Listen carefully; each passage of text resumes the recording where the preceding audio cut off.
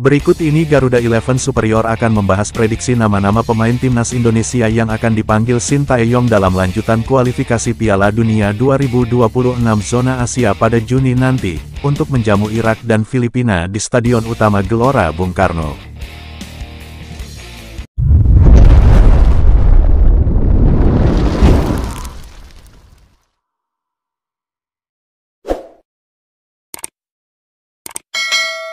Timnas Indonesia akan menjamu Irak dan Filipina dalam lanjutan kualifikasi Piala Dunia 2026 zona Asia pada tanggal 6 dan tanggal 11 Juni nanti. Saat ini, klasemen sementara grup F masih dipimpin oleh Irak dengan raihan 12 poin. Sedangkan Indonesia berada di peringkat kedua dengan koleksi 7 poin, diikuti Vietnam dengan 3 poin dan Filipina 1 poin di peringkat terendah.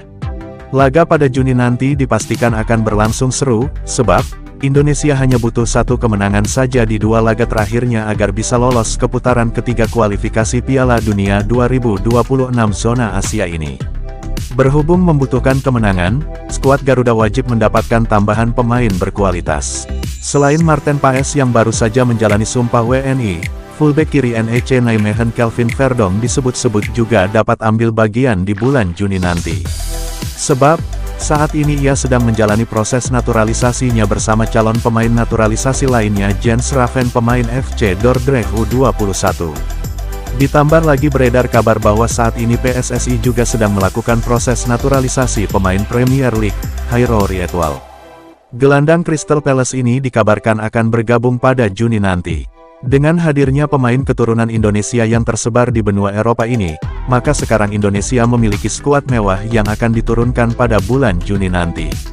Berikut ini 26 nama yang diprediksi akan mendapat panggilan timnas Indonesia pada lanjutan kualifikasi Piala Dunia Zona Asia Grup F. Yang pertama, tiga nama penjaga gawang. Hernando Arisutaryadi, Persebaya Surabaya. Martin Paes, FC Dallas. Nadeo Argawinata, Borneo FC. Di lini pertahanan akan diisi oleh Rizky Rido, Persija Jakarta. Jordi Amat, Johor Darul Taksim. Jay Izes, Venezia FC. Justin Hapner, Cerezo Osaka.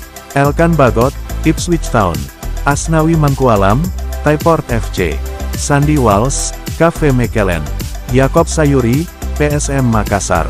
Pratama Arhan, Suwon FC. Sain Patinama, Kas Open. Kelvin Verdong, NEC Nijmegen. Di posisi gelandang akan diisi oleh Tom Haye, SC Hirenvin. Ivar Jenner, FC Utrecht. Nathan Chuaon, SC Hirenvin. Hairo Ritual, Crystal Palace. Mark Klok, Persib Bandung. Ricky Kambuaya, Dewa United. Marcelino Ferdinand, KMSK DINZ. Kemudian di posisi penyerang akan diisi oleh Witan Sulaiman, Bayangkara FC. Egi Maulana Fikri, Dewa United. Ragnar Oratmangun, Fortuna Sitar. Rafael Struik, Ado Den Haag. Ramadan Sananta, Persis Solo. Jens Raven, FC Dordrecht.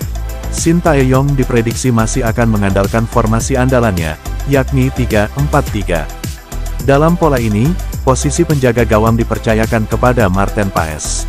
Selanjutnya, tiga back sejajar ditempati Justin Hubner, Rizky Rido dan Jay Ises.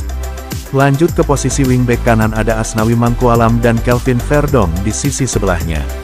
Untuk dua gelandang sentral, Hairo Ritual dan Tom Haye bakal jadi pilihan. Lanjut ke posisi winger kanan ada Witan Sulaiman, dan Ragnar Oratmangun di winger kiri, kemudian penyerang tengah akan diisi oleh Rafael Struik.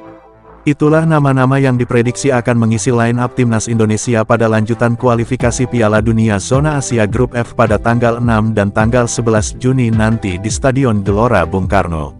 Semoga Indonesia dapat memperoleh poin penuh di dua laga sisa ini dan berhasil melaju ke babak selanjutnya.